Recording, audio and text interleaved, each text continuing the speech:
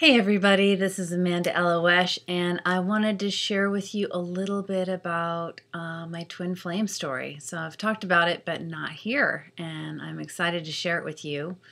Um, last year, I was uh, engaged to a lovely man, and uh, we were in the process of planning our wedding and planning our life, and I had been invited to go to Hungary and speak at a festival, uh, the Ozora Festival, which is a psychedelic community um, festival that's all about psychedelics, music, workshops, um, performances, and stuff like that. It was a wonderful place to be and uh, I I had gone on done a little uh, road trip to Glastonbury and Stonehenge with a priestess friend sister, and got all charged up there, and then went to Hungary. And uh, the next day after I landed there, I taught a workshop, and uh, went really well. I had a lot of people that wanted to talk to me and so there's this long line of people waiting to talk to me. And uh, at the end of the line was this tall, handsome man. And uh, he was smiling at me. And I could see as I kind of, you know, kept my attention kept kind of going to him that there was this this kind of filter or veil that went over my vision, my like internal perception of him. And he went from like kind of drawing my attention and kind of feeling mag- magnetically attracted to him to kind of like this not seeing him as being quite as attractive. And uh, if you know me, you know that I do a lot of work with the subconscious. So I was kind of checking out what my that that was that was something my subconscious was doing and I was really curious like why did that happen? Curious just stayed curious didn't have any answers and uh, finally made his way up to the front of the line and we had a lovely brief conversation but I had just gotten to Hungary the night before it was still uh, not even lunchtime. I didn't know where to eat. I didn't, you know, there were a lot of things I had to take care of. So I excused myself. We made a plan to talk later. And as I walked away, I was thinking like, why did I, why did I have that weird, like, why was my subconscious trying to put up some filters uh, and, you know, and as I really dropped in, kind of listened, I realized like, oh, I know who that is. And what came to me as I really dropped in with it was that uh, when I was single, there were a couple times in my life where I was single for a long periods of time, a couple couple years or more, and I was in a deep prayer for partnership, sacred partnership, and uh, I did a bunch of practices to call in my beloved, and uh, I, when I was sitting at my altar and doing those practices over time, I felt this presence coming to me, and I actually a couple times saw vaguely a face. And I realized that it was his face and his presence that had come to me in those practices. And in fact, it had been so strong that, and then I was single for so long that I kept thinking that this beloved of mine was was somebody that was like my my twin flame partner but not somebody who was embodied in this lifetime. And so I kind of had to felt like I had to come to terms with that and just appreciate this connection through you know the veil um, and just make do the best with the human relationship possibilities so um, as soon as that all dropped in, I was like, oh my gosh, my ego and my, you know, my busy mind, like, uh oh, I'm engaged to somebody else. What does this mean? And da da da da. And I just decided, you know, if he really is who I think he is, then it's not going to be a problem. Love doesn't, you know, love doesn't cause harm. And this is obviously something bigger than myself. And I'm just going to let the story unfold. So we met up again later that day, and a bunch of magic happened. Uh, thunder and lightning and rain, and and uh, it brought us, you know, into this uh, opportunity to really connect in a platonic way, but in a way, it was such a powerful soul connection. It was so obvious very early on that there was something really powerful, really cosmic, and really deep. And by the end of that night, I had spilled the beans. I had told him everything about the, the veil, the re- recognition of his soul. And I, I remember just, you know, the feeling was I don't have an agenda. I don't expect you to be anybody for me or to me, but you are obviously an embodiment of the sacred masculine that I've been calling into my life.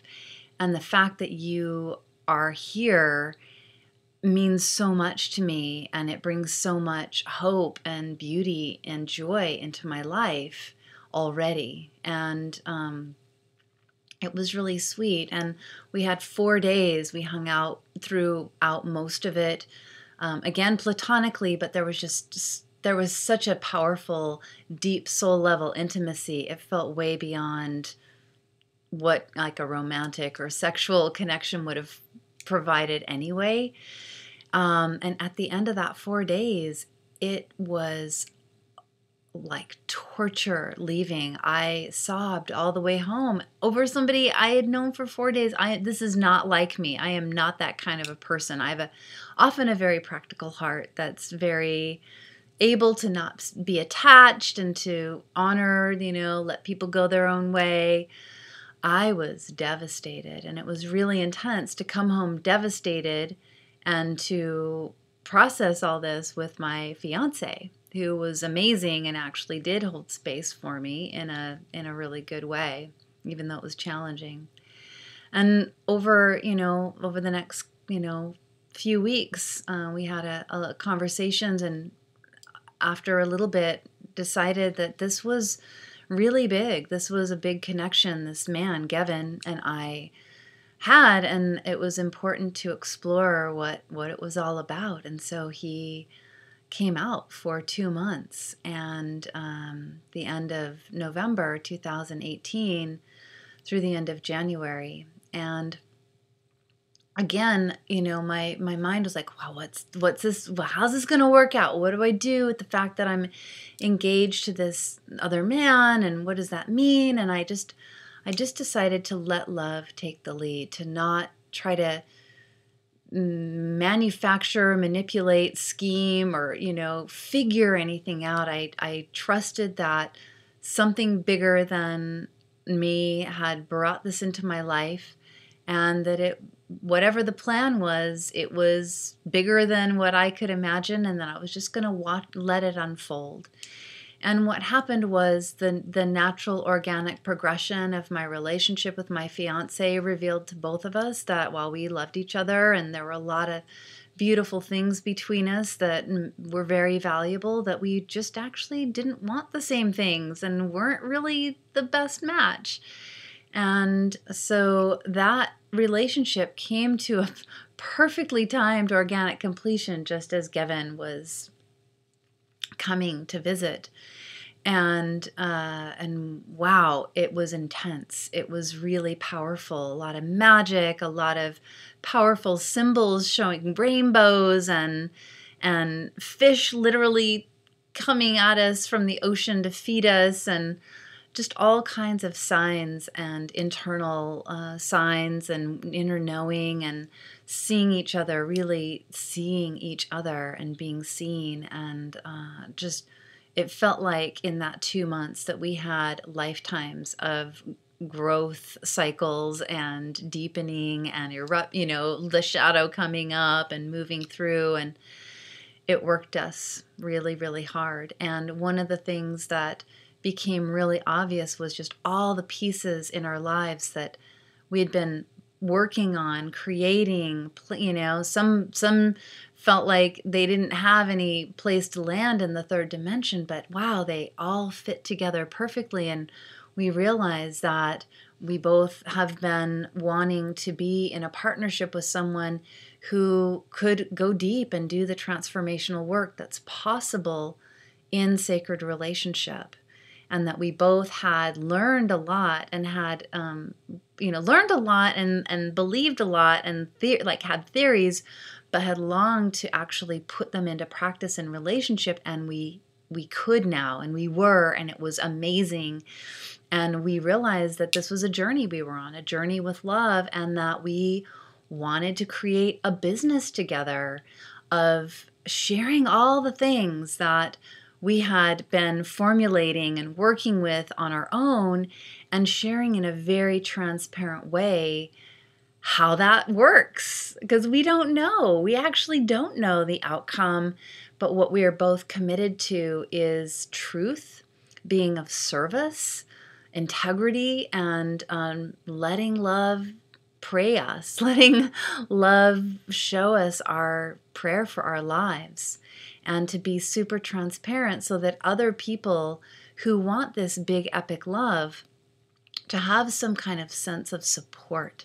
Because you know the thing is a lot of people are in a prayer and really deeply desire for that big epic cosmic twin flame soulmate love but the reality is, it doesn't mean that as soon as you get together, like everything's perfect, the heavens open, there's no more challenges.